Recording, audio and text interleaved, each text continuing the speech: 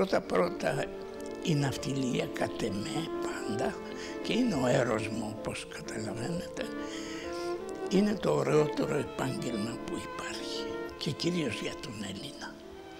Για να είσαι τέλειος αδύνατον, τέλειος πλειοκτήτης, θα έπρεπε να είσαι πανεπιστήμον και πλοίαρχος και τεχνικός και νομικός και ασφαλιστής και έμπορος και καλλιτέχνης ακόμη. Καλλιτέχνης γιατί το πλοίο έχει γραμμές ωραίες και έχει και διακόσμηση ωραία πολλές φορές, ωραιότερη από το άλλο.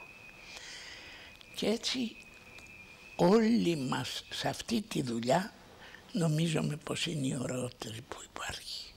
Εκείνο που σου δίδει η ναυτιλία συν της άλλης σου τρέφει τον εγωισμό σου. Και ο εγωισμός του Έλληνα είναι ένα τέρας. Γι' αυτό πολλοί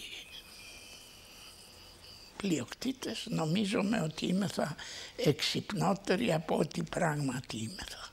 Η ναυτιλία μας ανανεώνεται με τα εξαίρετα στελέχη του γραφείου, της οργανώσεως ή του πλοίου οι οποίοι είναι οι πλειοκτήτες της αύριο.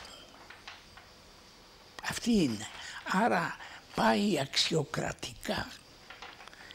Δεν πάει κληρονομικά και γι' αυτό δεν έχουμε ουσιαστικά παραδοσιακές οικογένειες εκτός αν πούμε παραδοσιακές αυτές που παραμένουν τρεις γενιές.